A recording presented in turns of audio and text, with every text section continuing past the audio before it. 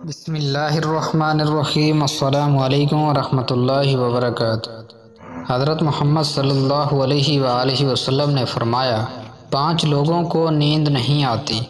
वो पाँच लोग कौन से हैं, जानने के लिए वीडियो को मुकम्मल ज़रूर देखिएगा। नादरीन, आइए जानते हैं ऐसे पाँच लोगों के बारे में, जिन्हें नींद नहीं आती। नंबर एक एक जो किसी के कत्ल का इरादा करता हो, कुरान पाक में इरशाद है जिसका तर्जमा ये है, जो शख्स किसी मुसलमान को जानबूझकर कत्ल करे तो इसकी सज़ा जहन्नुम है, जिसमें वो हमेशा रहेगा और अल्लाह ताला इस पर गज़ब नादिल करेगा और लानत भेजेगा और अल्लाह ने इसके लिए बड़ा अजाब तैयार कर रखा है।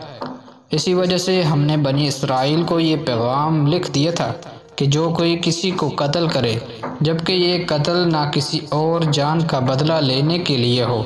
और ना किसी के ज़मीन में फसाद फैलाने की वजह से हो। तो ये ऐसा है जैसे इसने तमाम इंसानों को कत्ल कर दिया और जो शख्स किसी की जान बचा ले तो ये ऐसा है जैसे इसने तमाम इंसानों की जान बचा ली।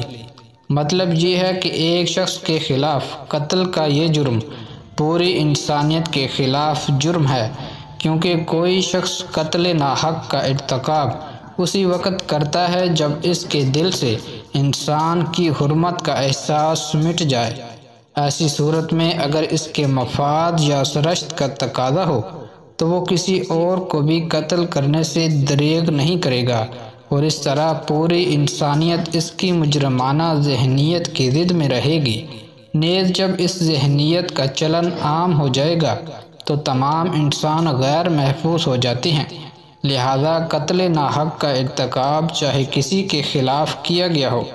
तमाम इंसानों को यह समझना चाहिए कि यह जुर्म हम सब के ख़िलाफ़ किया गया है।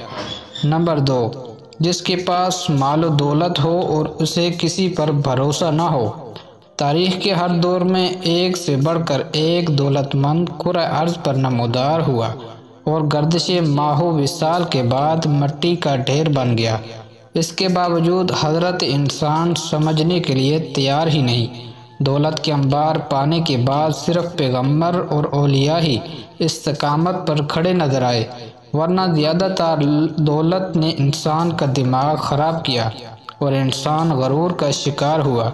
और फिर यही वो मकाम है जहाँ पर इस कायनात का इकलौता वारिस खाल की कायनात हरकत में आता है। और वह फिर दराज रस्सी को खींचकर इंसान को निशान इबरत बना देता है। इसकी सबसे इबरत अंगेज मिसाल कारून की है, जिसके ख़जानों की शहरत दरबुल मिसल बन चुकी है। नंबर तीन, वो जिसने लोगों से बहुत सी झूठी बातें कही हों और लोगों पर झूठे इल्ज़ाम लगाए हों। हदीस शरीफ में है कि झूठे गवाह के कदम हटने भी ना पाएँगे कि अल्लाह ताला उसके लिए जहन्नम वाजिब कर देगा। जिसने किसी मुसलमान को जलील करने की गर्ज से इस पर इल्ज़ाम आयद किया तो अल्लाह ताला जहन्नम के पुल पर उसे रोक लेगा। यहाँ तक कि अपने कहने के मुताबिक वो अजाब पा ले। जो किसी मुसलमान पर ऐसी चीज़ का इल्ज़ाम लगाए, जिसके बारे में वो खुद भी ना जानता हो तो अल्लाह ताला उसे जहन्नमियों के खून और पीप जमा होने के मकाम में उस वक्त तक रखेगा। जब तक कि अपने इल्ज़ाम के मुताबिक आदाब ना पाले। वो जिसकी ज़िम्मेदारी ज़्यादा हो, लेकिन इसके पास देने के लिए कुछ ना हो। कायनात की तलख तरीन और सफाक हकीकत भूख है। भूख बड़ी बदजात है। इंसान चरिंद परिंद और जी रूह मखलूक अपनी भूख के सामने बेबस हो जाते हैं।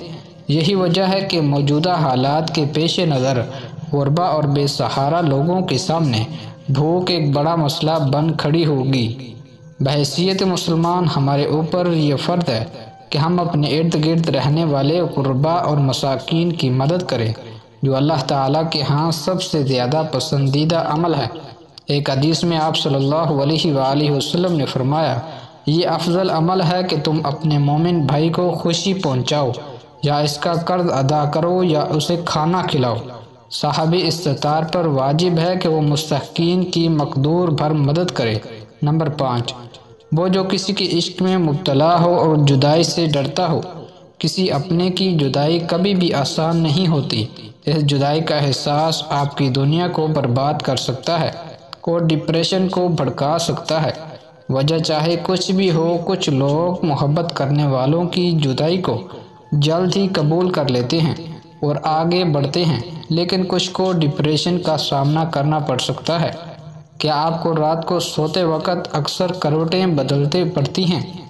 तो इसकी वजह जो भी हो, मगर इसका नतीजा जल्द मौत की शक्ल में भी निकल सकता है। ये बात बरतानिया में होने वाली एक तिब्बी तहकीक में सामने आई। एक यूनिवर्सिटी की तहकीक में बताया गया कि जिन अफराद को रात को नींद नहीं आती या आधी रात को जाग जाते हैं इनमें जल्द मौत का ख़तरा बहुत ज़्यादा होता है। इस तहकीक में पाँच लाख दरमियानी उम्र के अफराद को शामिल किया गया था और दरियाफ़ किया गया कि नींद के मसाइल से दो, चार अफराद, बिलखसूस ज़ियाबतीस के मरीज़ों में इसके नतीजे में किसी भी वजह से मौत का ख़तरा सतासी फ़ीसद तक बढ़ जाता है। महक्कीन का कहना है कि ये हम पहले से ही जानते हैं। कि नींद की कमी और ख़राब सेहत के दरमियान मज़बूत ताल्लुक मौजूद है, मगर नए नतज चूँकि देने वाले हैं। उन्होंने कहा कि डॉक्टरों की नींद के मसाइल को बहुत संजीदा लेना चाहिए, ताकि इनमें ख़तरे को कम किया जा सके। इनका कहना था कि ज़ियाबती से वैसे ही मुख्तलिफ़ अमराज से मौत का ख़तरा सतासठ फ़ीसद तक बढ़ जाता है मगर ऐसे मरीज़ों को बेख्वाबी या नींद के दीगर मसाइल का सामना हो, इनके लिए यह ख़तरा सतासी फ़ीसद तक बढ़ जाता है।